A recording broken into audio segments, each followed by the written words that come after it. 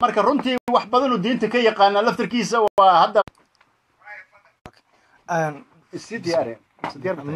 horta intaas ka hor raadiyo ma ku jira. Een, bismillahi raxmaan raxiim waa aniga sidaa laysu keen baray qaasim xirsi. Waxa aan jeclaan lahaa inta aanan barnaamijkaas u gelinin baan reer toronto barnaamijkii maalintii dhaweyta socday ee ahaa wiilasha dhalinyarada islaynaysa maalin walba dhibkooda maxaa keenay? Arrintaas iyada ah baa qodob xoogaa iyaga la xiriira kaasoo kale baan baryahan soo xuuraansaday oo waxa uu yahay dadka soomaalida ah ee canada ku nool waxa ay dowladda canada maalin walba ku baryaysaa warkaalaya aan afkiina iyo dhaqankiina iyo diintiina xataa idin barno.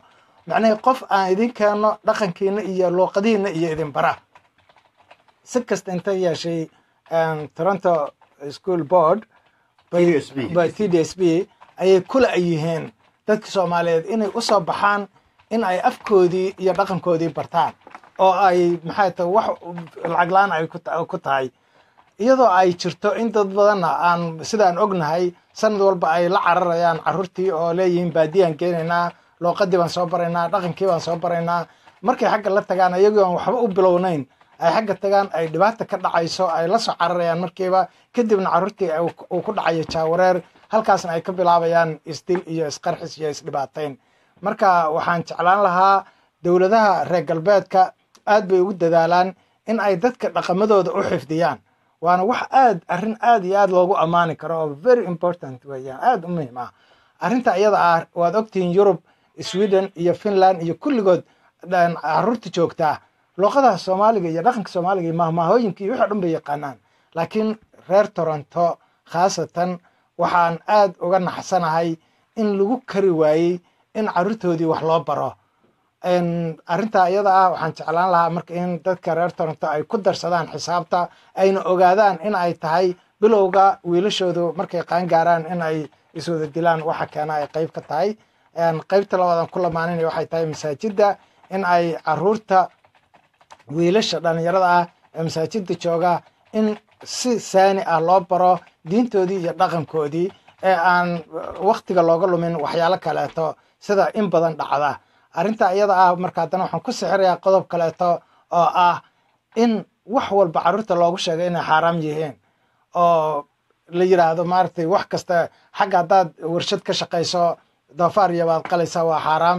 Haddaad taxi wado ey iyo kaniisya baad qaadaysaa waa xaaraam haddaad iskuol aado study loan baad qaadanaysaa waa xaaraam.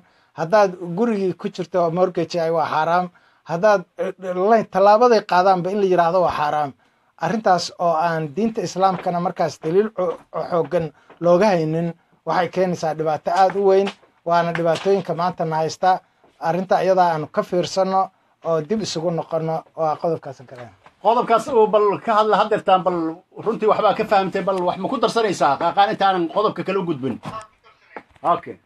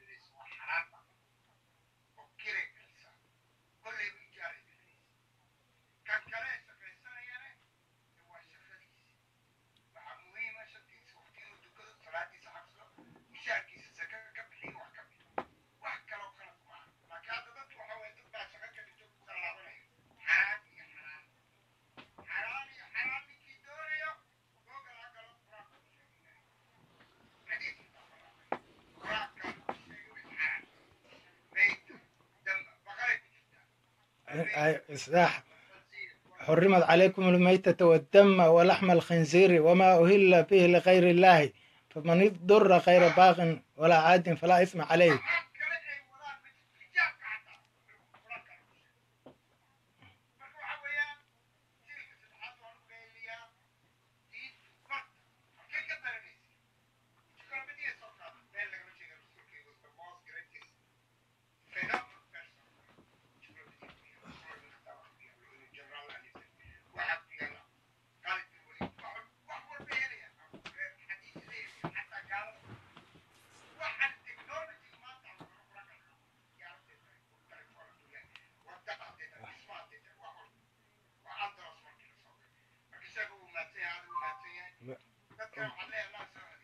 qodobka kalaan gelaynaa marka hadda. Ha, ma- waa- tanaan ba horta sii wadaynaa een, xaaraanta qodob fiican ayuu ka dhawaajiyey een, kha- khaan khayr allah siiyo.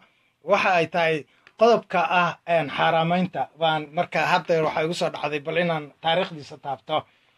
Sida aad la socotaanba ilaahay subxaana wa tacaala waa hal wuxuu noo soo diray hal rasuul wuxuu noo soo dejiyey hal kitaab waxa uuna ka rabaa qof walba inuu hal hal u soo galo halkaas. Marka qof qofkaas ayuu haddana hadhow oo qof kastaba uu isagu taa fahmo uu ku naftiisa ku dhaqo kuna macaamiltamo. Markaas kadibna uu noloshiisao dhan ay ku dhisnaato sidaasuu ilaahay naga rabay. Kadibna markaa dambe oo bacdiga uu soo baxo xisaabta qof walba keligiis ayaa gooni loogu yeerayaa maxkamadda markiisaa la soo istaajinayaa. Ilaahay waxa uu qur'aankiisa ku leeyahay walaqad ji'tumuunaa furaada kamaa khalaqnaakum awala maratin waxaad noogu imaanaysaan xaqiiqadii qof qof sida aan awalka horeba qof qof idinkugu abuurnay. Marka qof qof saaran ma jiro qof walba keligiis horta meesha la tagayaa xisaabtiisa halkaas ku tegin. Arrinta xaaraamaynta markaas kitaabkaasu ilaahay ku caddeeyey wixii xaaraama iyo wixii xalaal ah xalaashu waxa weeye xaaraam wax kasta oo jira waa xalaal unless ilaa mar qofkaas waxaas ay noqotay istithnaa wax laga soo reebay. Wax kasta asalka waa xalaal. Laakiin wax la taataabtay oo hebel kow laba saddex hebel iyo heblaayo heblaayo la yiri baa xaaraam ah bes. Kuwaas marka qur'aanka inoogu dhigan yihiin sida aayaddaas hadda aan ku sheegnay aayado kaloo fara badan waa micnihii wax la cuno waxa xaaraanta waa intaas. Qul inamaa xarama rabbi alfawaaxisha maa dahara minha wamaa badana wixii ficil ah waa taas iyadana oo wixii xumaan ah oo aad u jeedid ama wax qarsoon ha aadeen ama wax banaanka yaalla ha aadeen waa xaaraam weeye. Wixii la cunana waa wax xaaraama waa intaas wax la cabo waa wax xaaraama waa khamri. Sun waa og tahay waa iska xaaraam khamri iyo sun ka dhe wax la cabo oo liquid ah. Waxa waxa sarqaan keenana waxay noqon karaan wax adke iyo hoore iyo neef. Intaba way noqon karaan. Waxa cunitaan la cuno wax xaaraam ah oo qur'aanka ku sh- sheegan. Waxa weeyaan qul inama xarama rabbi xurimad calaykum ulmaytata maydka wadama iyo dhiigga walaxma alkhinsiiri iyo hilibka doofaarka wamaa uhila bihi likayr illaahi iyo wixii loo gowraco in wax kale lagu xuso masalan sanam wixii daraaddiis loo gowracay oo shirki ah intaas baa xaaraam ah oo meesha ku cad waxyaalahaas marka waa saasay bay isaga saalan yihiinba kadib xaaraantii waa la badiyey xaaraantii marka meesha laga badiyey taarikhaan aan intaa taabto waxa ay tahay sida aad la socotaan tusaale waxaan ka bilaabayaa biyaha tuubada biyahan ka cabno tuubada caadiga oo biyahan ka furno. Magaceeda af carabi waxaa lagu dhahaa waxaan u malayn xuseen adaa af carabi yaqaana. Magaceeda maxaa la yidhahaa tuubada biyaha lagu caba af carabi qasabada. Maya waa af soomaali. Xanafiya la dhahaa xanafiya. Tuubada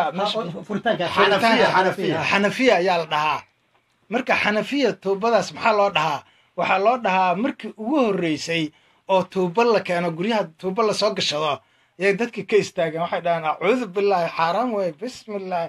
Waxaan nebigii ma ogeyn fitno waaye waa bidca waa la soo istaagay markay arrinta intaas gaartay ay dhaan laguma weysaysan karo lagamana cabi karo waa biyo xaaraama biyahaas tuubada laga shubaayo ilan weligood ma araga. Markaas madhabihii oo dhan shaaficiya waa xaaraamisay maalikiya waa xaaraamisay xa- xa- xambaliya waa xaaraamisay markaas ayaa xanaf- xanafiyadii baa wax macquula u keenay oo ka dhaadhiciyey. Markay ka dhaadhiciyeen kelim- eh, qasabadii oo dhan maanta waxaa loo yaqaana ilaa hadda xanafiya loo yaqaanaa. Waa baasha xanafiyadu keentay. Waa tusaale marka xaaraamtu sida ay waxa markaa ku cusub bini aadanka waxay iska dhahaan waa xaaraam. Haddaan taa ka soo tagno gaari maalinka ugu horreysa oo gaari uu yimaado waxaa la keenay baqdaad markii saa loo soo dhigay magaalada afarta koone wuxuu joogay dad saqiiri kabiir waa la soo yaacay waa la fiiriyay hoosta laga wada feerinayaa waxaa la feerinayaa qoobabkii fardaha. War waxaan socda oo fardana aan waxna cabayn muxuu yahay waa la yaabay culimmadii baa la weydiiyey waxay dhaheen waa xaaraam in la fuulo.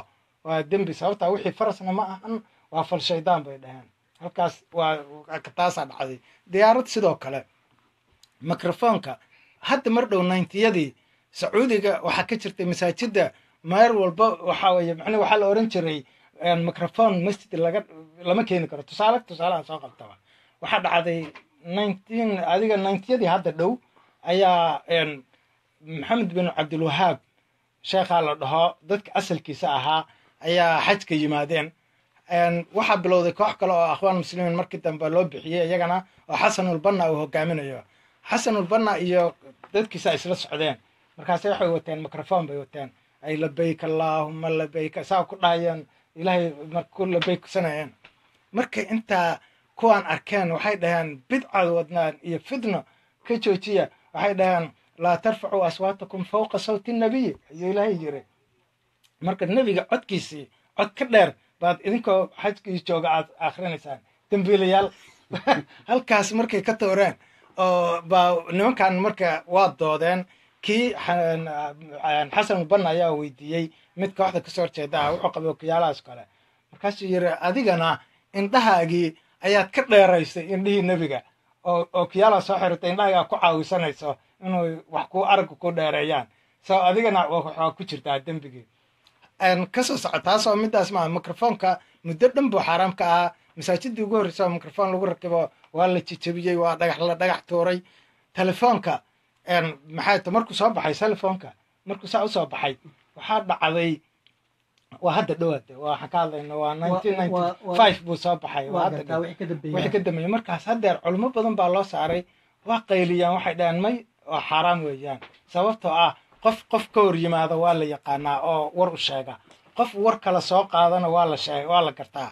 Qof warqad soo qorana waa la gartaa. Laakiin laba qof oon is arkaynin oo saa u kala sheekaynaya waxaa ku jira meesha jinni baa ku jira shaydaan baa ku jira. Waa fitno weyn bay dhahaan oo ah fitno fasaad dheelanaysa qaar kale markaa waxay ku sii marmarsiyoodeen xantuu badinayaa waxay ku badiyeen dadku qur'aan ka mashquulinayaa waxaasoo dhan baa la galay.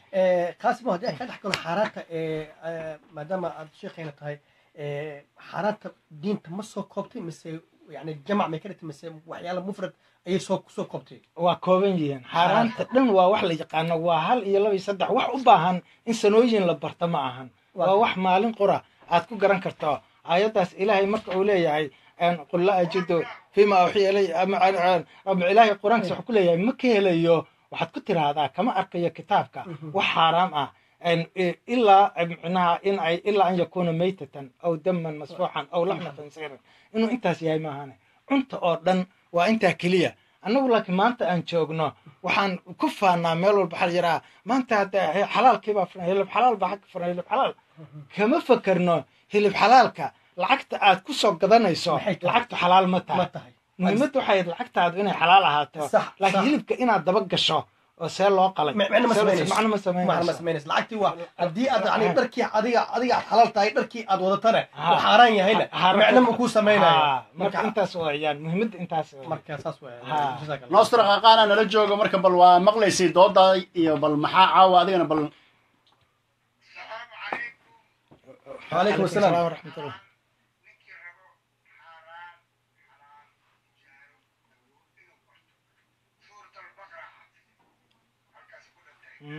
suurat albaqara iyo alcimraan iyo ancaam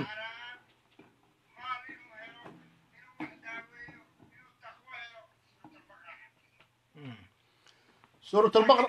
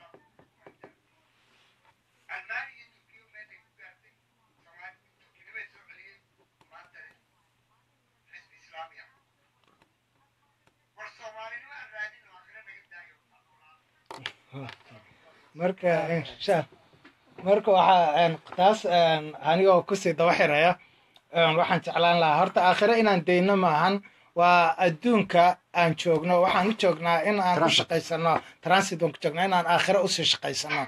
Ayaan u joognaa. Ha marka ilaahay waxa uu yiri qur'aankiisa ku yiri man kaana fi hadihi acmaa fa huwa fi laakhirati acmaa wa adallu sabiilan. Qof midkii dunidan maanta indhool ku ah indhool ku ah macnihi aan wax taran karin weeye waxba qabsan karinin oo aan waxba garan karinin. Midkaasi fa huwa fi laakhirati acmaa wa adallu sabiilan. Aakhirada midda dambe marka la gaarana asaga ayaa waxa uu noqonayaa kan ugu damiinsan oo ugu indhala oo ugu dullisan oo ugu hooseeya. Marka meeshaad adduunyada maanta iska dhigto ayaad aakhirana la tegaysaa horta.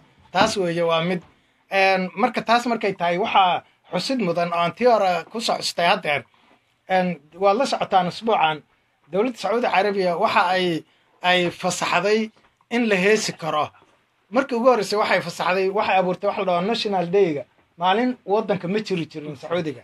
Maalin oo national day baa la sameeyey. Awal waxay ahayd oo madhabka macnaha sacuudiga waxa uu farayey in aan dhulka loo dabaaldegi karin maalin loo dabaaldegi karin. Haddii la sameeyo ay macnaheedu noqonayso in la caabudayo dhulkaas marka maalinta national day oon jiri jirin baa hadda laga dhigay xalaal laga dhigay. Ko waxaa haddana xalaal laga dhigay heesihii iyo muusigii weligeedna laku akrinayay marka waa xaaraam ayaa ayagana la yiri waa xalaal marka waa banaan waa yihiin. fasaxan yihiin. Waxaa la yiri dumarkii shalay gaari loo diiday oo wax kasta loo diiday oo dharkooda ay marar badan u mudaaharaadayeen inay braga baalka oo halkan laga xirto. Ah. In ay ayagu gadaan bay ku dacwoonayeen. Kusii daray ee, weli waxaa lagu sii daray inay sitiga hataa soo geli karaan. Sitiga inay soo geli karaan sida jidoo kale qorshahay riyaad oo ku kale jir- baghdad Haa. yani cajmaan ay soo geli karaan damaam ay soo geli karaan. Way ku jirtaa ay qorshaha waxaa ku- ka shaqayn karaan. Ha qorshaha waxaa ku jirta horta marka hore waxaa weyaan gaariga inay wadan karaan baa loo fasaxay. Marka labaad waxaa ku jirta in ay magaaladooda mari karaan. Saddexaad waxaa ku jirta inay dharkoodii waxooda gadan karaan. Hadda dharkooda xitaa ma gadan karaan oo hadhow nin waxay ka dacwoonayaan maalin dhowta nin baa niman baa nagu cabiraya ee, waxaan oo baaleena tilmaamaya jirkeena. Marka aan anagu isgadanno bay u doodayeen taas marka kadib waxaa ku xigta in xuquuqdooda si saxa loogu fasaxo ay la dooran karo lana dooran karo ay siyaasadooda geli karaan. Waxaas oo dhan marka ay tahay waxay sameeyaan marka haddana markii hore takfiir sacuudiga madhabkaas wuxuu ku dhisnaa qofkii niiq yiraahdo in la yiraaho waa zandiiqi waa waa kafir waa xagga waxaa la yiraaha wixii waa la joojiyey hadda taasna waa la joojiyey waxaa sacuudiga ku dhawaaqeen calmaaniya inay noqonayaan kugu dara ee, waxay leeyihiin sacuudiga waxay leeyihiin tadawur ayaa adduunyada gaartay Ah. waxay u aanaynayaan waxay leeyihiin tadawur ad- adduunyada tadawur ay gaartay Ah. maanta waxaa lagu xisaabtama ay leeyihiin sacuudiga waxaan akhriyey sharq al awsat Ah. oo ka soo baxa ee, riyaad ka soo baxa. Ayaan akhriyey saaki. Qoraayo wuxuu leeyahay adduunyada tadawur ay gaartay. Marka ma lagu sii jiri karo in lala socdo teknolojiyada caalamka lala socdo way. Waa dareemi kartaa marka in adduunyada ay isbeddel samaynayso. Ha meeshaas marka waxaan rabaa inaan iswaafajino. Islaamkeena een, islaamku ma diin isbedeshaa? Shalay wixii ay xaaraam ahaa miyay maanta diintu xalaalaysa Ma- ma noqonayso. ma Shalay noqonayso. kii xalaal ahaana maanta Maxaa- xaaraan ma xaaraan noqonayo. noqonayo marka maxaa meesha ku jira? Waxaa meesha ku jira shalay wixii uu xaaraantimeeyey. Ilaahay ma ahayn qofkii yiri naa- qof dumar gaari ma wadan karto. Meel maaragtay lama dooran karo madax ma noqon karto waxba ma noqon Eh, karto. taas mas'uuliyadda waxay dhaheen Marka- gaari ma wada karto shalay waxaa loo diiday waa mas'uuliyad ayay mas'uuliyadda ma qaadi karto gaari wadistiisa mas'uuliyad. maantana waxay mas'uuliyad ma qaadi karto waxa yiri ilaahay ma ahan. Ee waxaan kooxdaan ay Ayaga- shalayna ayagaa yiri oo dumarka xuquuqdooda dhulka geliyey maantana ayagaa garowsaday. Marka wixii ay shalay iyagoo xaaraantimeeyeen ayay maanta haddana xalaalaynayaan taasna waa wixii ilaahay nooga digay. Taas marka tusaale waxaa kugu sii ah wadaadadeenna maxaad la socotaan? Kulligeen waa ognahay. Mar dhow haddeer toban sano ka hor iyo wadaadada kulli waxay dhihi jireen masawir xaaraam weeye acuudu billahi masawir ilaa daruuro inaa u gashid maahan oo teesara baasboor iyo maana ma geli kartid. Masawirka xaaraan buu ahaa. T v xaaraan buu ahaa kaba sii daranba. Waxaa dhacday maanta nin kasta oo sheekh ah waxaa lagu kala tartamayaa masawir iyo tv internetkii iyo facebook in la soo baxlagu kala tartamayaa. Aad iyo aad. Qaaqaana aan gudbaynaa bal eh, nostro.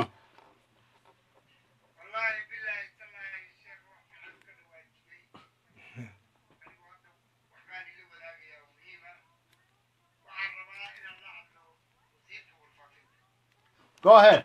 Yeriso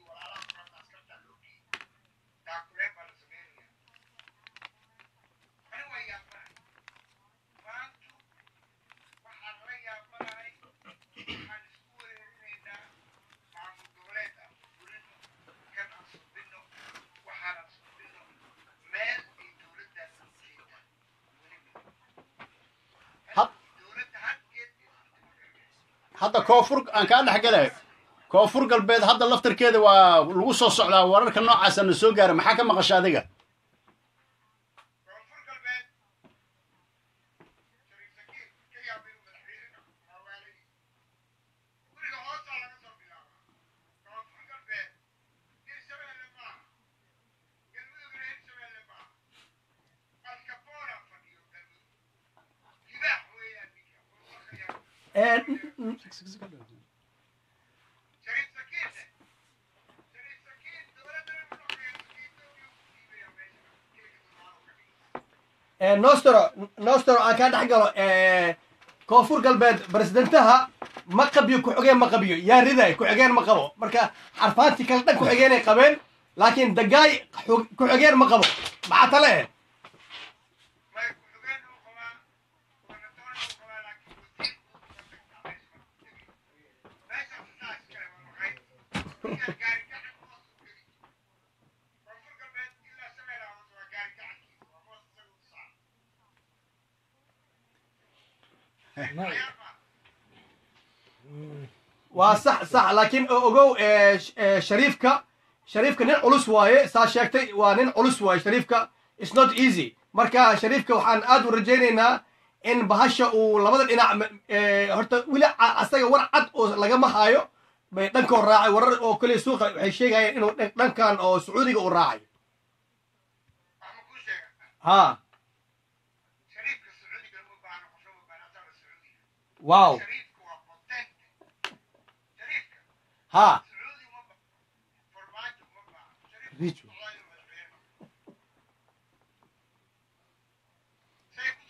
naqanaya kafesi fantoshi maasha allah gabagabadii aan soo gaarnay bal doctor qaasin asagana gabagabada bal waxa ku darsanaan fiirinaynaa waxaan ku celinaynaa anwar adaan kugu soo celinaynaa bal waxay noo sug bismillahi raxmaan raxiim waxaan dhihi lahaa gabagabada annaga wixii isku soo aruurinaynaa. Waa marka ugu horeysa ee xaggan siyaasadda soomaaliya haddii aan ka fiiriyo horta midda koowaad waxaan dardaarankayga ku celinayaa siyaasadda soomaalida canada fadlan soomaalida canada ha sharaysanina dowladdeena canada laakiin ogaada marka waxa faa'iido ayna siinayso ka faa'iidaysta barnaamijyada laydinku siinayo en, ka faa'iidaysta sida barnaamijkaas aan hore u sheegay oo ah in dowladda ay diyaar u tahay in ay kharashka bixiso ku baxaya in luuqadii soomaaliga la baro qofkii dhaqankii la baro carruurtii wax walba la baro taasna dowladda ayada faa'iido ku qabta oo multicultural society bay rabtaa inay dhisto. Marka ka faa'iidaysta carruurta intaad halkaa ula carari lahaydeen cunugii baadiyan kenya ay rehabilitation ma ku sameyn oo dhaqan celis waxaa dhihi lahaydeen. Halkiina idinkoo jooga oon waxba idinka bixinin. Carruurihiina iskuullada ayaa laga dhigaa barnaamijyadaas raaca oo taga. Horta kow waa mid midda labaadna masaajidda waataan kula dardaarmay oo inay si dhab ah dadka diinta u baraan oo waafaqsan meesha ay ku nool yihiin. Aysan carruurta en, ayaguna wax u soo sheegin iskuulkiina wax kale loogu sheegin oosan cunugii markaas ku wareerinin. Taas waa mid midda kaleeto marka dowladda soomaaliya dadweynaha soomaaliya waxaan u sheegayaa waa marka hore horta waxaad ogaataa hal tusaalaan soo qaban dowladda masar kanaal suways waa meesha dhaqaalaheeda oo dhan ka soo galo dhaqaalaha masar waxuu ku dhisan yahay kanaalka suways soo maahan kanaal suways goormaha nationalismka lagu sameeyey in la qarameeyo oo masar yeelato. Waa hadda een, toddobaatimeyadii bay ahayd. Jamaal cabdinaasir ayaa hal mar ku dhawaaqay in wuxuu yiri kanaalka anaguna soo maraa canshuur kama qaadan jirin markabka soo mara. Waxba kuma lahayn. Ganacsiga adduunkuna meesha ka socday ahayd. Hal maraa yurub iyo kulli loo degay hal subax waa la soo weeraray hal barqo. Ingiriis iyo faransiis kulli weerar ku soo qaadeen weerarkii ayay masar isku difaacday kana gu- kana guuleysatay wadamadaas oo dhan oo ku jabisay oo xataa micnihii qoraal waxaa jiray wasiir ra'iisul wasaarihii ingiriiska uu isku casilay oo yiri maanta ingiriis waa jabay haddii masar oo xun ay ka adkaatay. Intaas marka waxa weye adduunka waa la iswada haystaa. Annaga soomaaliya marka maanta maxaa la isku haystaa? Kanaal suways baa lagu masar saa loogu cunuqabateynaya maantana ay ku nooshahay. Annagana maanta waxa aan sun iyo shiico loogu sameeyey inay isku dagaalamaan waxa iiraan iyo sacuudi isku dagaalamayaan. Waxa waxaasoo dhan loo wado oo waxa em, yemen oo dhan loo duqaynayo wax kale ma ahan. Waa jid annagu aan leenahay oo ah een, ka- kanaalkeena halkaanaas ayaa leenahay oo Badda cas, ah. ayaa la isku haystaa. Meeshaas oo annaga jidkeennii ah baa la rabaa in isbaaro la dhigto. Annagii baan iskale marka waa arrin aad u baahan. Marka hadda waxaan u joognaa maalin hore waataan halkan ka sheegay in imaaraadka ay roobka naga naga dhacaan. Roobka soo socda abaarta hadda markay nagu dhacaysay laba kun iyo lix iyo tobankii marka abaarta iyo ilaa laba kun iyo toddoba iyo tobankii ilaa hadda abaarta nagu socotaa roob la'aanta marka ayna hayso imaaraadka oon weligees roob ka dayi jirinin daadad baa qaaday. Marka roobka iyagii ayay dafayeen oo dhacayeen xaggooda ku degsanayeen. Waa arrintaas halkaan arrintaas maxaa ka leedahay bal arrinta intaasaa fiican yahay waa fiican yahay reer mudug uu noqday marka arrintaas oo maalinta horeeto aayado badan oo qur'aan aan kusi daliiliyey oo waqti dheer baan u haystay marka iyo cilmi science oo cad marka roobkeenna saasaa loo dhacaa. Iska dhaaf kalluunna laka dhaca iyo geedana laka dhaca iyo ugaarna laka Ya- maxaa That- that's a good wuxuu yidhi waa geedihii dhuxul ayaa loo jartay geedihii. Yeah. imaaraadka imaaraadka waxay naga dhaceen korontadeenii maarta ku jirtay way ka bilaabatay. Ilaa maanta waxay maraysaa roobkeena in la dhaco. Waxa ku xiga caqligeena in la dhaco haddana cimaamadna loo xirto intaasoo dhan marka waxaan leeyahay soomaaliya waxaa looga bixi karaa in gobolo gobolaysigan waxaa laga baxo la midoobo inta- aanay gabagabeen awaraan ku celinaya adan kugu soo celinaa qaaqaan. Waa maasantii dhammaantiina gabagabadii gunaanadkii. Waxaan rabay inaan ku darsado maadaama magaalada muqdisho aan ka imid aan ku soo arkay waxyaala aad u qurux badan oo dadka niyaddooda aad u dhisaayo ay ka tahay dhismaha. Marka insha allah dadweynaha